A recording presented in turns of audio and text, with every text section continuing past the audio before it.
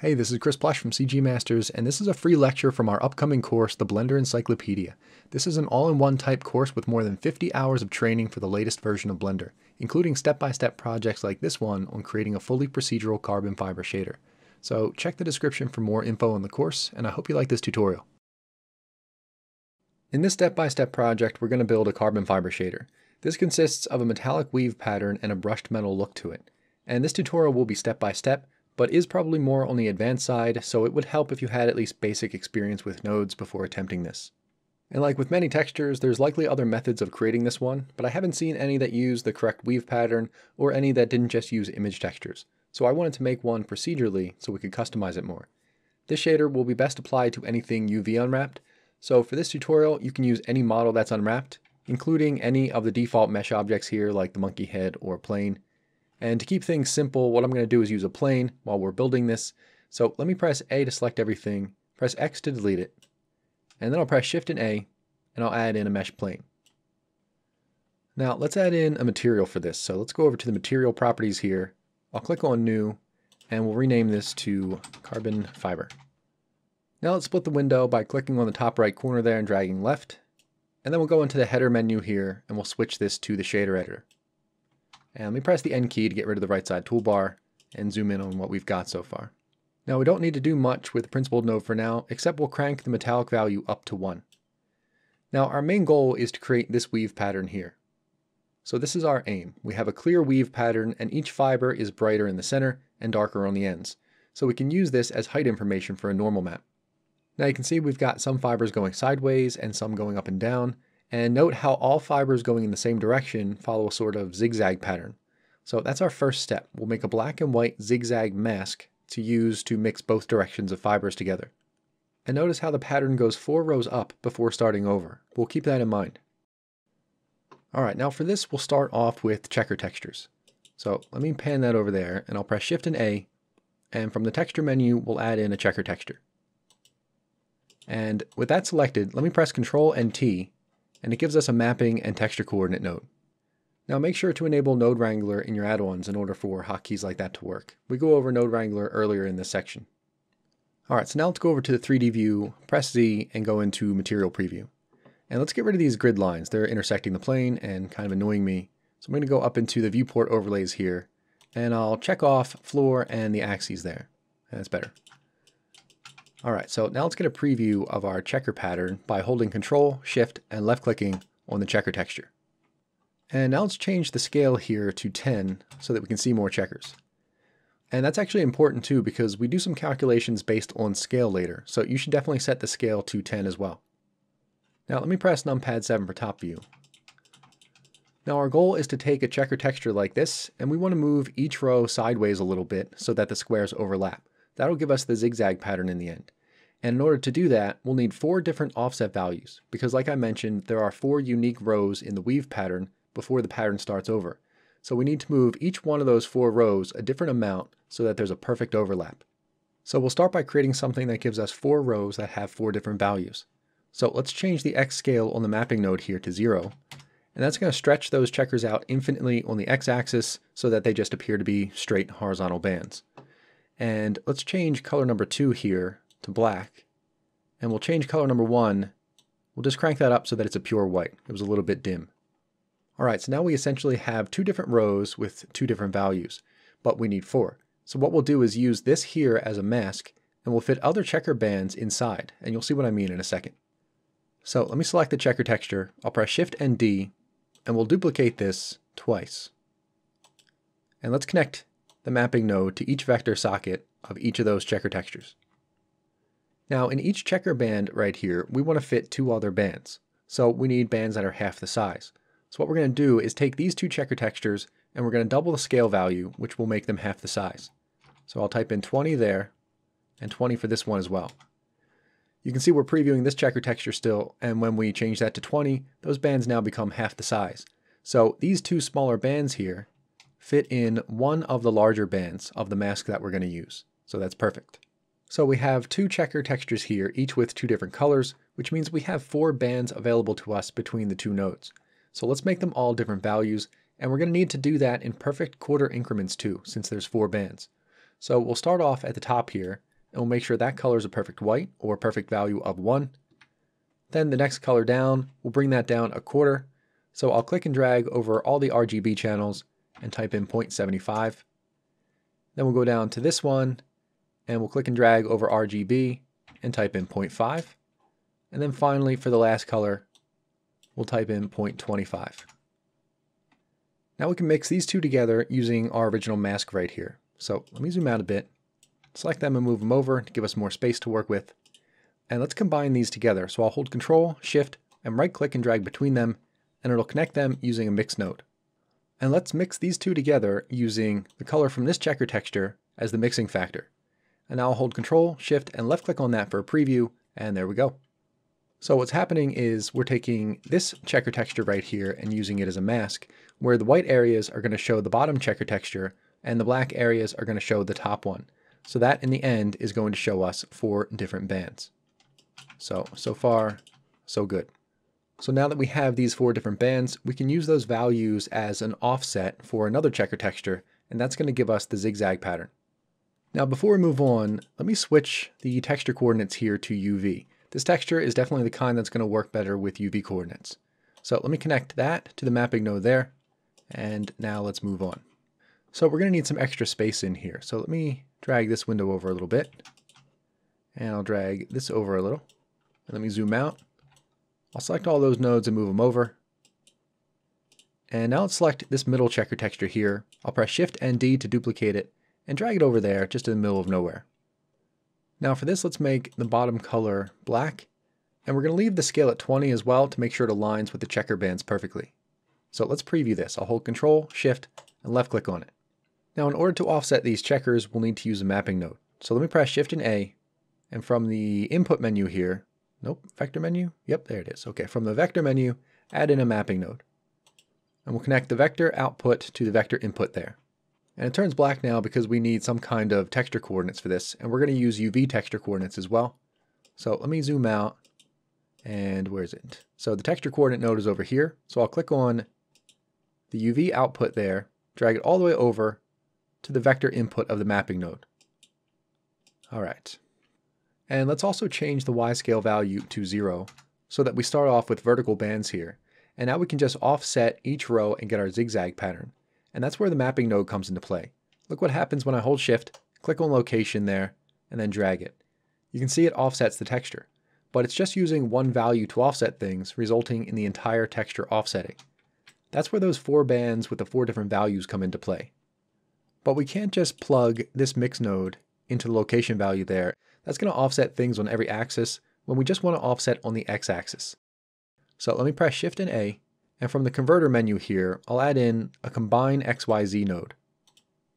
So this is basically just like a blank vector node right now, and we can change values for every axis here.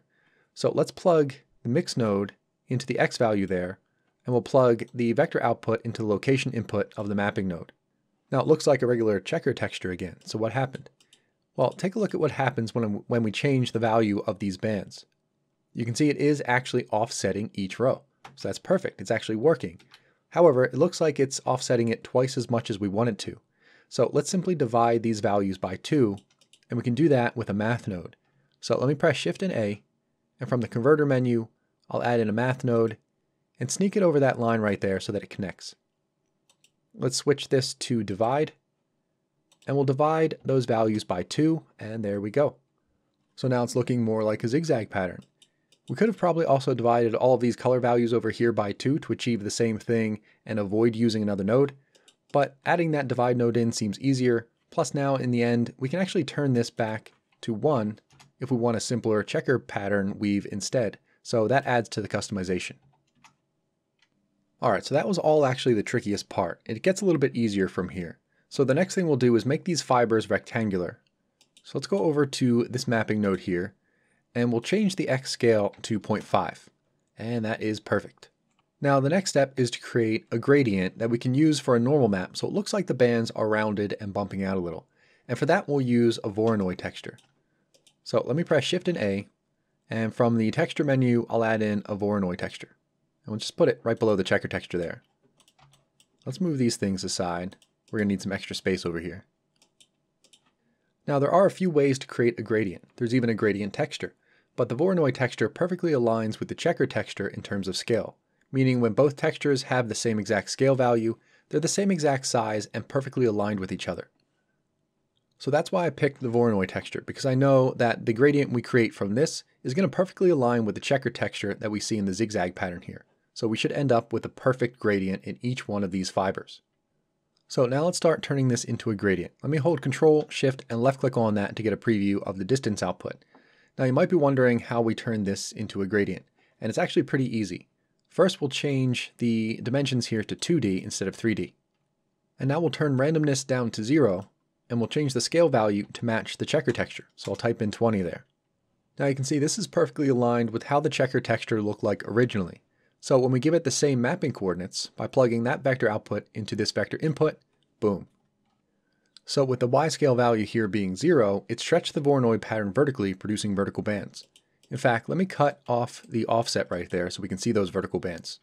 And this is what it looks like without the offset. So just like we were able to stretch checkers into vertical bands, we're able to stretch this as well, but we ended up with gradients instead since it's a different texture. Then when we apply that offset again, we get a perfect base pattern to use for the weave. Now let me zoom in on one of these gradients. We can actually get a somewhat smoother gradient by changing the F1 option here to Smooth F1.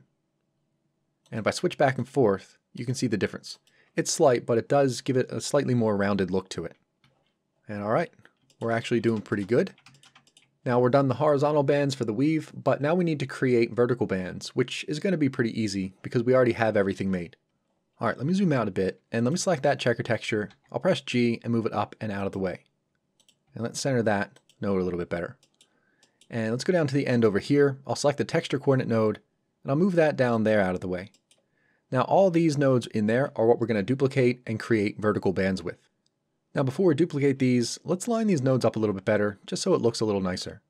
So let me select just these nodes right there, and I can press Shift and the equals key, and it lines them all up horizontally. That works with vertical bands as well. For example, if I have vertical bands offset a little bit like that, and I select them all, I can press Shift and equals, and it aligns them nice and neat for me. All right, so now let me select all of those nodes, and I'll press Shift and D to duplicate, and I'll move them straight down to right there. Now we need to reconnect the texture coordinates here. So I'll connect UV from there to the mapping node here, and let me press Control and Space to full screen this and I'll connect UV mapping to that mapping node as well. I'll press Control and Space to get out of full screen, and let's get a preview of this entire bottom chain here. So I'll hold Control, Shift, and left click on the Voronoi texture there. Now it looks the same so far because we didn't make any changes. So to switch the direction of the bands, we simply just need to switch all of the x and y values. For example, the x scale is 0.5 and the y value is 0, so let's just switch x to be 0 and y to be 0.5. And now we need to switch this to go into the Y socket there and disconnect the X. And then finally, over here, we need to make the X value 1 and the Y value 0, and there we go, vertical bands. So now that we have both directions of banding, we can now use this mask up here to combine them together. All right, so now to mix these together, we'll hold Control, Shift, and right click on that and drag it up to there. It combines them with a mix node. And let's get a preview of this so far. I'll hold Control, Shift, and left click on it. Right now it's mixing them both 50-50. So we need a mix factor. And that's where the checker texture mask comes into play. So let's connect the color value there to the factor value there. And boom, there we go. There's our weave pattern. Sweet. So again, with masks, what's happening is the lighter areas here, or the white areas, are showing the bottom texture, which is the vertical bands, and the black areas are showing the top texture, which are the horizontal bands. So when you mix them together with that mask, you get a perfect weave pattern of gradients. All right, now before we work on the normal map, let's work on the colors for the bands. Now for carbon fiber, it's usually two grayish values, one darker than the other. So let me select this mix RGB node, and I'll press Shift and D to duplicate it and move it up a little bit. Now let's change color number one here. I'm going to click on the RGB fields there. I'll change this to 0.008 to be our darker gray value. And let's change the bottom color here to be 0.03 to be our lighter gray. And now let's preview this. I'll hold Control, Shift, and left click on that. And right now it's just giving us a perfect 50-50 combo of those colors. So we're going to need to mix them using a mask, and we'll use the checker texture mask we made here.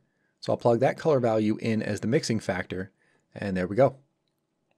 All right, so this is looking good, but now let's say I wanted to add some shadowing to the weave. For that, we can simply multiply the weave pattern over this. So let me hold Control, Shift, and I'll right click on that and drag it up to that. And that'll again mix them with a mix node here. And we'll just switch the mixing type here to multiply. And I'll increase the factor up to one there. Now you can see that adds in the weave pattern shadowing on top of our colors for the weave. And we can adjust the shadowing using this slider here too, so that's good for customizing. I want to leave mine set a little bit lower to 0.85, just for a hint of those shadows. That's looking pretty good. All right, so now I think we're ready to plug this in to the principled node as the base color. So let me connect that color to the base color of the principled node, and I'll hold Control, Shift, and left click on that to plug that back into the material output. And there we go. Let's check it out. It's looking pretty good so far. All right, so now let's work on the normal map, which includes the bands bumping out a little as well as a brushed metal effect on them. And we already have the gradients to use for the bands bumping out right here. So let's plug this into a bump node to convert it to a normal map. So let me press Shift and A, and from the vector menu, yeah, we'll add in a bump node. Drop it right there. And for the height value here, we're going to use this weave pattern. So I'll plug that color value in as the height value. And now let's connect that normal value to the normal value of the principled node, and then I'll hold Control, Shift, and left click on the principled node to plug that back in. All right, so it's doing something, but it's definitely a little extreme right now. So let me turn the strength value down to 0.2, and that's a little bit better. But I do feel like it's a little bit too sharp in the middle. There's too sharp of a transition there, it should be more rounded off. And I think this is because there's too much contrast in the height map that we're plugging in. So what we can do is we can decrease the range of the height map by lowering the distance value right here. So let me lower that down to 0.4, and that looks a lot better. That's a lot more rounded off now. And we're actually almost done with this now. We just need to add in that brushed metal effect on the bands and then give it a clear coat layer. We're going to use noise textures for the brushed metal, so let's add one in. Let me zoom out and we'll go over where we're going to go. Let's go down here. Let me press Shift and A, and from the texture menu, I'll add in a noise texture. And we'll want to use the same UV coordinates for that as well. So let's connect the UV coordinates from there over there, but I kind of don't want the lines to be intersecting any more nodes anymore. So what I'll do is press Shift and A, and from the layout menu, I'll add in a reroute node, and I'll plug it in right there. Now what we can do is click on UV, drag that to the reroute node to connect it, and now we can connect that reroute node over to the vector socket of the noise texture there. There we go. So that just helps us organize the layout of all the nodes and the connections. And let's add a mapping node for this too to help us out with the scale. So let me press Shift and A. And from the vector menu, yeah, we'll add in a mapping node and drag it over that line until it highlights, and then just drop it right there until it connects. Now let's preview the noise. So I'll hold Control, Shift, and left click on that to preview it. And the noise pattern is way too big, so let's change the scale here up to 10. That's going to be too small, but let's just use the mapping node now to really dial this in. So let me start by changing the Y scale up to 30, and that'll squash it. And then we'll change the X scale up to point or down to 0.2 to stretch it out. Now it's almost looking good, but I'm seeing a hint of banding, I guess you could call it. I'm seeing a darker band of noise there, and then a lighter band in the middle, and then a darker one there. It's faint, but I'd rather not have any kind of repeating pattern like that. So let's turn the distortion value for the noise up to 5, and that randomizes it enough that you don't notice any detectable pattern. So this is looking like a pretty decent brushed metal effect now. Now because we have bands going in two directions, we'll need the brushed metal effect in two directions as well. So let me select both of these, and I'm going to duplicate them and move them down. And let's connect UV coordinates to this mapping node as well. So I'll click on that reroute node, connect it to the vector socket at the top of the mapping node, and let's preview this by holding Control, Shift, and left clicking on it. Now we can change the direction of the noise, again by just swapping X and Y values. So let me type in 30 for the X value and 0.2 for the Y value, and there we go. So now let's mix these two directions together by holding Control, Shift, right-clicking on that and dragging it up to that. And it's going to combine them with a mix node, but right now it's mixing them 50-50.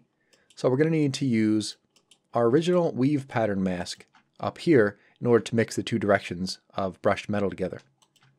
So let's click on that color output of that checker texture up there, drag it down to the mix factor of our mix node there, and there we go. Perfect.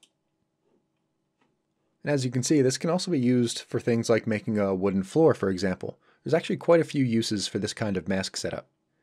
Now all that's left to do for this is to mix it in with the band gradients.